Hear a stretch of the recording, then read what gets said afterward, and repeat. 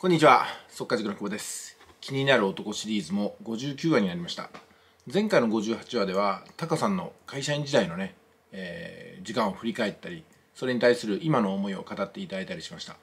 えー会社員からフリーランスになろうとしている人には、ちょっとね、共感するところがあったんじゃないかなと思います。さあ、そして今回はですね、人の疲れに関してちょっとお話していこうかと思います。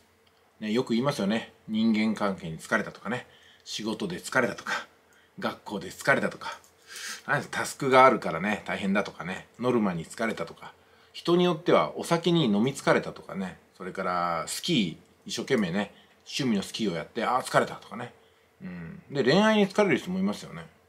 何なんですよね疲れるってのは。うん。なんで疲れるんでしょうかね。人間関係そんなに疲れますかね。疲れるとしたらそれは人間関係のせいでしょうか。人間関係ごときで疲れてしまう自分の頼りなさっていうのが原因じゃないかなと思うことも一つあるんですよ。仕事に疲れるって何なんでしょうね。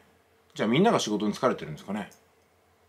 自分が個人的に疲れているのを仕事のせいで疲れたっていうふうに言い換えることは可能ですけどもそれ本当に仕事で疲れたんでしょうか。仕事を簡単にこなせる力があって疲れますかね。むしろ仕事をこなす力をつけてないから疲れるのかなと思います。学校に疲れた。学校は選ぶことができますんで。多分職場以上に選ぶことは簡単ですから学校を入れ替えるってことも一つの選択肢あるのかなと思います。それからやっぱりマンモス校ばかりがいいわけではないんでね。やっぱ少人数制とかね。マントゥーマンとかっていうの最近ありますしフリースクールっていう概念も今では結構ね公になってきましたんですごく利用しやすいんじゃないかなと思います。まあ、中にはね学校に行かない YouTuber みたいな人も出てきてねなんか独自の道を歩いてますけども。疲れてるんですかね。その疲れにもほんとくたくたになって疲弊する疲れと心地よい疲れってあると思いますよね。うん、いやぐったりしてしまうっていうのも分からなくはないんですけどもぐったりする気持ちを持ちながらもはつらつと動くことをすればどうかなと。それこそうん。なんで健康に害があるほど疲れることってあるのかなとか思っちゃうんですけども。まあこれは私の勝手な考えなんでね。お前は分かってねえよって言われたらその通りなんですよ。私は自分のことしか分かりませんので他人の疲れのバロメーターっていうのはね全然見えてこないです。うん。まあでも何でもね疲れるって言えば周りの人は離れていくんですよね。ああ疲れたって言ってみてください。離れていくんじゃないですか。疲れた疲れたって生きてる人に付き合いたい人っていますかね？面倒くさっていうのはね無言で人を他人にする冷たい呪文なんですよね。そうじゃなくって疲れるたんびに「おおさらにやる気ができたぞ」とかね「まだまだもう一歩いけるぞ」とかね。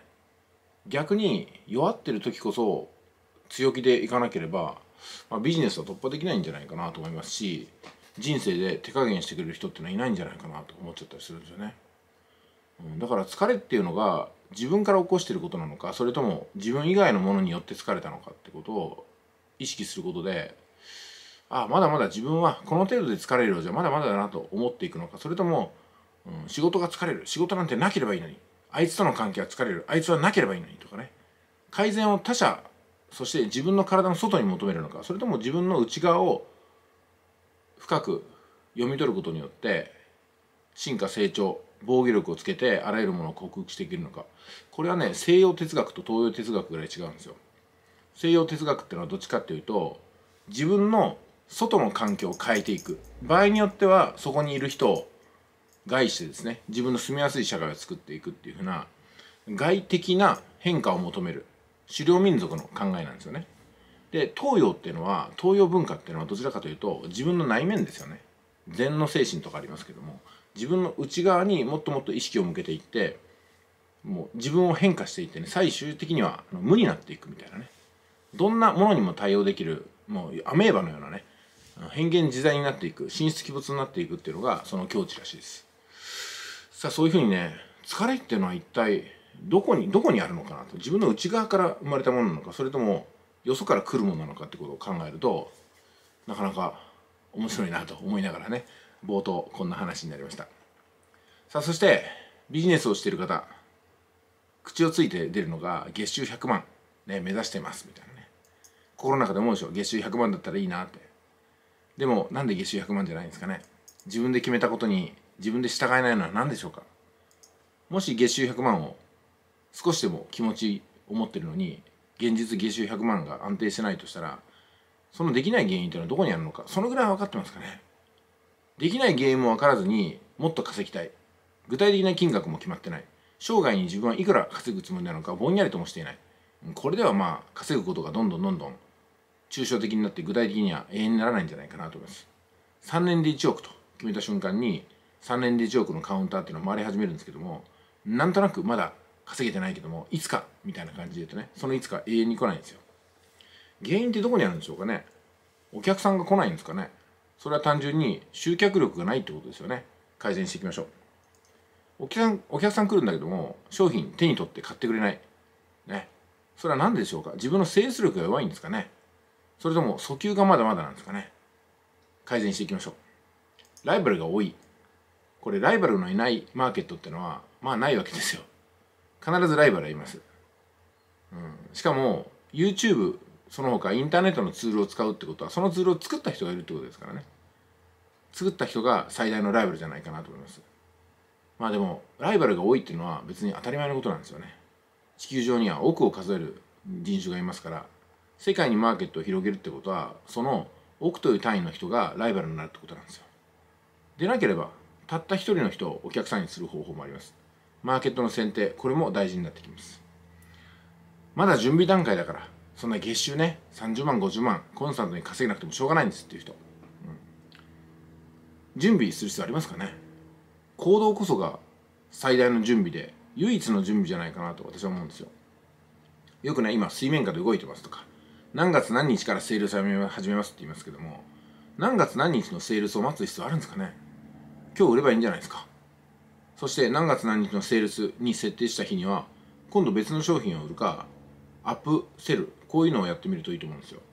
なんかねセールスを待つっていう感覚はやっぱビジネスしてる上ではものすごく邪魔になると思うんですよ。あれだったらもう先行販売っていうのぐらいはね設けておいてまだ商品はできていませんと。商品がリリースされるのは例えば10月の20日ですと。今先行販売期間中なんで今ご予約いただけますと。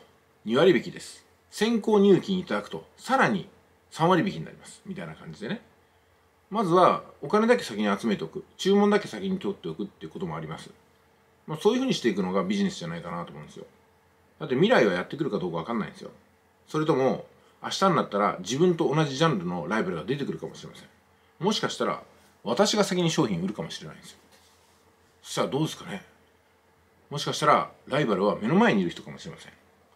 信頼してやり取りをしている人がこの人が自分の商売邪魔しないだろう。いやそんなことないです。マーケットにあるお金は奪い合いですからね。もたもたしてると先に気が付いた人が持っていくだけなんですよ。そしてお客さんは早く商品を手に入れれば早く行動できます。やっぱり先に売ったもん勝ちなんですよね。それはお客様の立場からとってもそうなんですよ。待たせることに全く意味がないと思いますね。でそして3つ目今日のテーマなんですけども他者の評価。これ必要でしょうかね。どうでしょうか。他者の評価。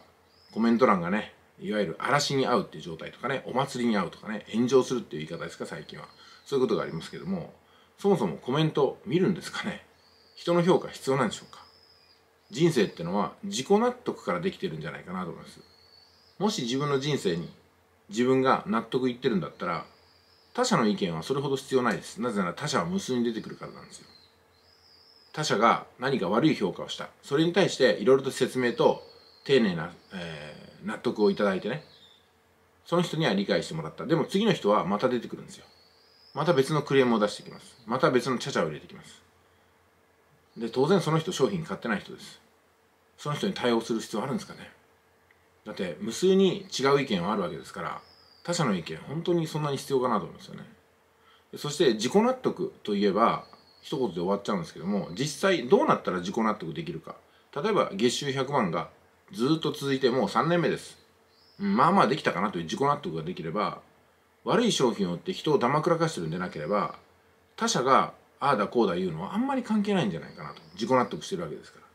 でも自分で納得してない結果に対して苦言提言反論が来た場合はそれをヒントとして真摯に受け止めることは私たちにはできるんじゃないかなと思います。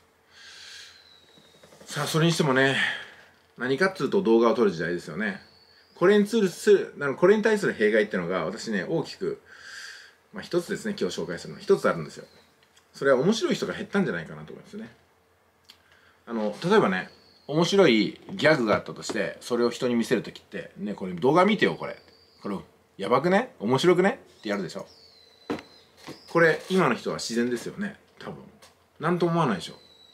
いやでもねこんなものがない時代どうやって面白いものを人に伝えたかっていうとその一つのギャグとか芸を見て自分で友達の前とか知り合いの前家族の前に行ってこうやって表現するんですよ。こうやってすごすごく面白かったんだよこれ。こっからこれなんだよみたいな。ねそうするとモノマネが得意な人が素人の中にもポンポンポンポンできるわけですよ。映像がないから。そうやってあこれ結構面白いなと。俺ウケるかもなと。いうふうに小さな芸人が近所に結構ポツポツいたんですよ。それから歌の上手な人もねこれ見てみて新しい曲とか言って動画出しますよね。でも昔はどうだったか。聖子ちゃんが新しい曲を出したらそれを一生懸命限られたテレビの放映時間でこうやって見て真似てこうだったかなああだったかなあここら辺はテレビでどう言ってたかな CM に入ってたか分かんないなみたいな感じでね。何回も見てこうだったかもしれないって言ってやっと友達知り合いの前に聖子ちゃんの新曲を覚えたんだけど聴いてくれるみたいな。ここの歌詞がいいよねみたいな。そういう表現を実際にこうやって、マイクを持ったふりをしてやることによってクラスのアイドルって生まれたんですよね。今は非常にそういうものが生まれにくくなってきて面白い人が減ったんじゃないかなと思います。いわゆるコピペがあるによって自分がそれを表現する場を奪われたと言ってもいいですよね。だって今コピーペーストって簡単じゃないですか。検索すれば結果にたどり着くでしょ。でもそうじゃなくっておぼろげな自分の記憶でその時に覚えた感動や喜びや笑いや悔しさを自分の体や気持ちで表現することによってオリジナルっていうのが生まれるんですよね。自分なりの表現っていうのが出てくるわけなんですよ。そういったものを私が幼い頃そして成人した頃っていうのはよくよく使ってたような気がします。私はちょっと壊れた時期10代過ごしてましてまあ街を歩けばねがたいもいいんで肩がぶつかり言い合いになったりとか修学旅行では木刀を振りかざしてタコと揉めることがあったんですよ。その時ですよ。面白いのが。当時流行っていた「ろくでなしブルース」って漫画がありました「ビーバップハイスクール」って漫画がありました。タコと揉める時出るセリフはその映画や漫画のセリフをそのまま使ってるんですよ。向こうもそうですよ。だからねお笑いですよね。うん。もう痛えな。肩当たってんだろうがそのまま行く気かお前どこのもんだ。これは映画のセリフをそのまま使うわけですよ。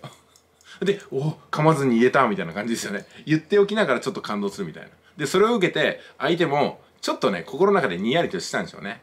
そのシーンを思い出しながら今度は別の人間の言い方で「お前はどこのもんなんだよ」とか「上等舐めてんのかん」とか言ってからねこういう言い方まで真似するわけですよ。そしたらもうねそこで寸劇が始まるわけなんですよ。だから他校と揉めるって言ってもなんかわざわざね自分の持ちネタをお互いに披露してるような感じで当時ねやっぱり突っ張ってるやつってビーバップハイスクールとログデナシブルースと東京番長とかねそれから尾上松五郎この辺りかな、うん、見てたのはオス空手部とかも見てたかもしれないですけどもあれね見てる人と見てない人がいたんでいまいちセリフが通用しないところがあったんですけどもまあまあこんな感じですよ私たちの時代は。なんか他と他校と揉め事を起こしてもまあね予定調和なわけなんですよ。本気で人の頭かち割ったりとかしないわけですよね。まあぶっ込みのタクとかカメレオンっていうねマガジンの漫画からもいろいろ引用されてましたけどもそういえば当時、少年マガジンで突っ張り漫画がね最初から最後まで載ってたような気がしますね。まあブームだよなと思います。うん、でもやっぱり今はね映像ですぐに人に見せられるんでローせずなんかそれを自分で表現する人ってちょっと減ったような気がしますね。まあ、実際わかんないですけどもどうですかね。えー、ということでね今日は人間関係ですとかあ月収100万をなぜ達成できないその原因はっていうところとあとは他人の評価必要ですか？みたいな。この3点ぐらいをバラッとお話しして最後に映像の時代がもたらす弊害について私なりにちょっと語ってみましたけどもいかがだったでしょうかね。それではタカさん60話楽しみにしてます。よろしくお願いします。